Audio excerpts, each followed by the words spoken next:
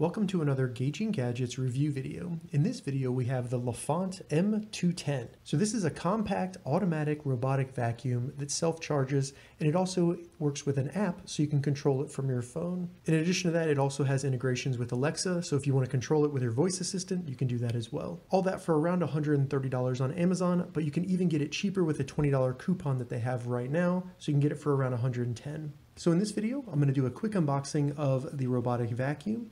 Then we'll do some tests around my house and we'll see how it works. While I'm getting this open, I just want to thank Lefant for sending me this vacuum to test. Thank you very much. All right, so on top we have some instruction manuals. Get into that later. Then we have the vacuum right here. Pull that out. Under that, looks like we have brushes. These spin to push debris on the ground into the vacuum. Looks like they have some extras in there for you, which is always nice. Batteries for the remote. These are AAA. Here's the remote right here. As you can see, very nice looking remote with a digital screen. Pretty cool. The charging station, so the vacuum would drive up on this. AC adapter for the charging station, and then a HEPA filter. And I believe this is an extra HEPA filter because there should already be one in the vacuum. And that's gonna be everything in the box. All right, so we'll get the vacuum out of here. Taking a closer look at the vacuum, as you can see on top we have the power button so this can be used to not only turn on and off the vacuum if you want to do that with the button, you can also use it to send it back to the charging station by double tapping it. And there's an LED in here that lets you know if it's charging or if it's heading back to the charging station, different things like that. On the top right here, you'll see a little nub that's sticking up. This is to prevent the vacuum from going under anything that might scratch it. So there's three of those on here. On the front right here, you have a very big sensor. So when this is driving around your home, it'll be able to see and detect any obstacles and it can avoid those. Additionally, on the top right here, we have a little flap that opens up. And this is first where the power button's at. So you can turn it on and off right there. And then we have the dust bin that we can just pull right out. As you can see, it does come with a HEPA filter. And this is where all the debris that the vacuum picks up will be stored. So you would simply pull this out using this little clip, then you just push this like this, and you can dump out any of the debris in here and close it up, put it back in the vacuum, and then it's ready to go vacuum again. Very easy, and you can easily clean this as well. Looking at the bottom of the vacuum, we have the wheel that allows it to turn.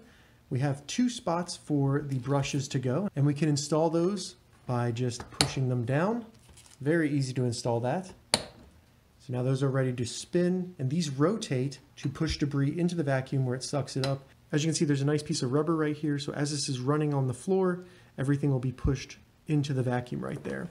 Nice wheels with a good suspension on them and nice tread as well. And then the two metal pieces right here, that's where the device will drive up onto the charging station and begin charging. You also have some sensors, one, two, and three, and these will help it identify stairs. So if you do have stairs in your house and you're gonna vacuum, the vacuum will go up to the stairs, sense the stairs, and then turn around. It will not drive over and fall over the stairs, which is good. All right, so that was a quick look at the Lefant M210. Let's go ahead and get it set up in my house, and then we can see how it works. All right, so it's really easy to set up the Lefant robotic vacuum. You first want to make sure you have the charging station plugged in. Then you want to turn on the red button by sliding it all the way to the right.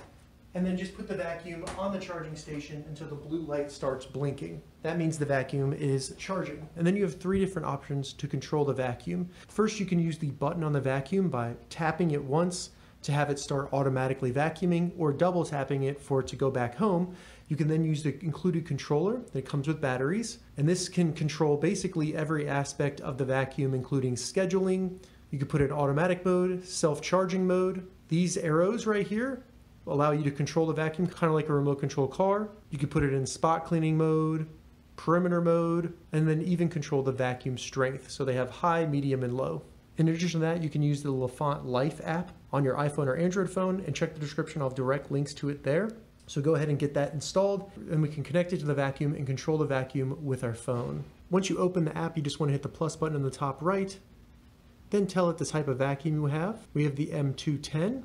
So I'll enter my Wi-Fi information, select next. Once you do that, they want us to turn on the vacuum, which we should have already done. Select next, and then we need to hold down the power button for three seconds until the light starts blinking and we hear a beep.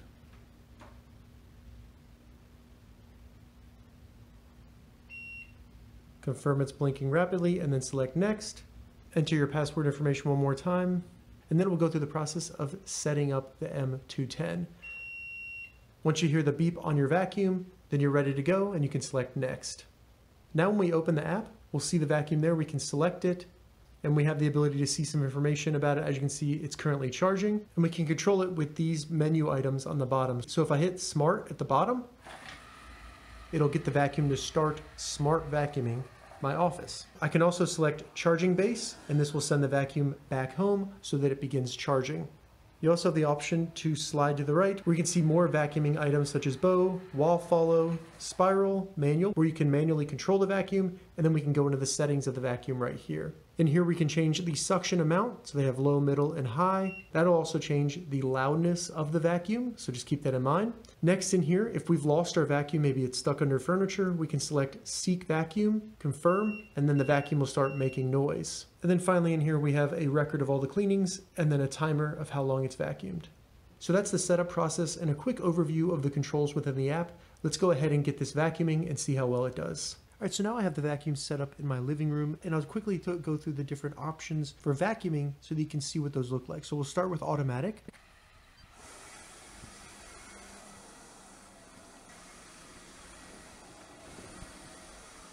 So basically, the automatic method for this vacuum cleaner involves the vacuum kind of just bouncing around your house, and after a certain period of time, it will have vacuumed the entire floor.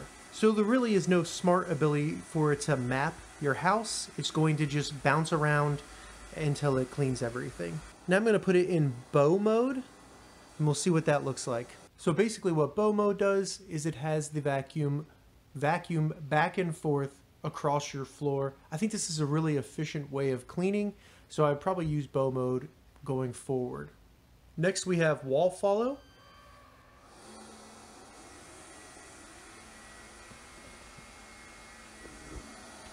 The vacuum basically goes to the perimeter of the room and it will follow that all the way around any furniture or your walls, which is a good way to pick up dust and debris that's caught in the corner of rooms.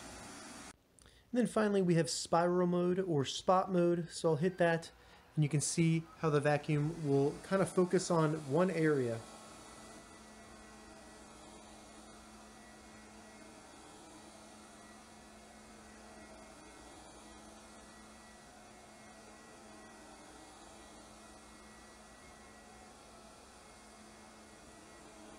so that was a quick demonstration of the Lefant M210 vacuuming my house. And while I did show you several different modes that are available on this vacuum, from my experience, auto is going to be the best. You can use some of the other modes to maybe hit a spot that you want or get some dust that's stuck in the corner of your room. But if you use auto, the vacuum will completely vacuum whatever area it has access to.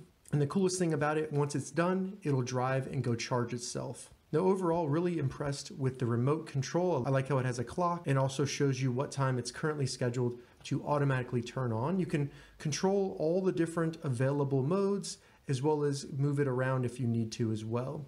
And all of this functionality is also available in the app, so you don't even need to have the remote control. You could just use your phone as long as you're connected to Wi-Fi. Overall, I am pretty happy with the experience I've had with this vacuum when cleaning my floors. Now, I did find that it works better on non-carpeted floors, so maybe linoleum, hardwood floors, things like that. Because it lacks a spinning brush right here at the intake, it doesn't do the best job when vacuuming carpets, but if you're on a hard surface floor, it's gonna do a really good job of picking up all the dust and debris on the ground as long as it can fit in that hole. That being said, when it was vacuuming carpet, it still did pick up some of the debris. It's just not as good as if it had a brush on the intake. When it comes to how loud the vacuum is, if it's on the high setting, it is pretty loud, but that is a trade-off because you're getting a lot more suction. Now, like I said, you can change through three different speeds available on this vacuum. So if it's a little bit loud, just turn down the speed to low or middle, and then that volume will go down accordingly. So while the lack of a brush here can be a problem if you do have a lot of carpet or rug in your house, there are some benefits to not having the brush, and that's because things don't get caught in the brush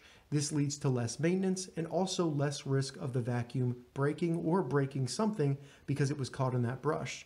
So if you have a lot of pets, this might be the vacuum for you because you'll have to do less maintenance with cleaning that brush. And then also just from the vacuum running in and sucking up wires or different things on the ground, those probably will not get sucked up into this because they'll be a little bit heavy for the suction and they won't get caught around the brush where they either break or they break the vacuum.